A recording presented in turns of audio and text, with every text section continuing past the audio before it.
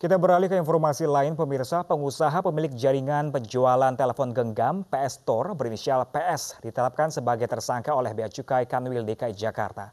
Penetapan karena PS diduga melakukan transaksi penjualan yang melanggar Undang-Undang Kepabean jual beli telepon genggam bekas ilegal.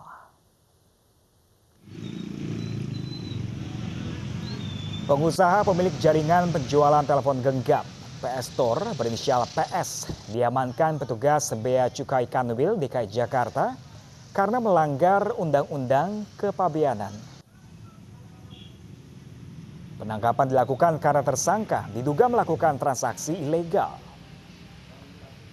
Kepala Seksi Pidana Khusus Kejaksaan Negeri Jakarta Timur, Milono, menyatakan Kejaksaan telah menerima berkas dan sejumlah barang sitaan titipan dari Bea Cukai berupa 191 telepon genggam impor beragam merek yang didatangkan dari kawasan Batam.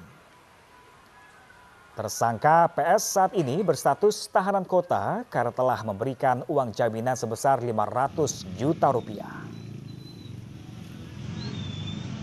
Kejaksaan Negeri Jakarta Timur sudah menerima pelimpahan berkas dari keja, uh, dari Bea Cukai, Bea Cukai Kanwil wilayah DKI ke Kejaksaan Tinggi DKI Jakarta.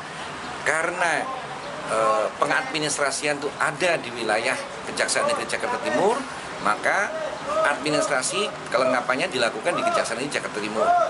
Kemudian kami sudah mempersiapkan untuk melaksanakan tahap e, pelimpahan ke pengadilan untuk melaksanakan persidangan acara persidangan e, terhadap tersangka PS ini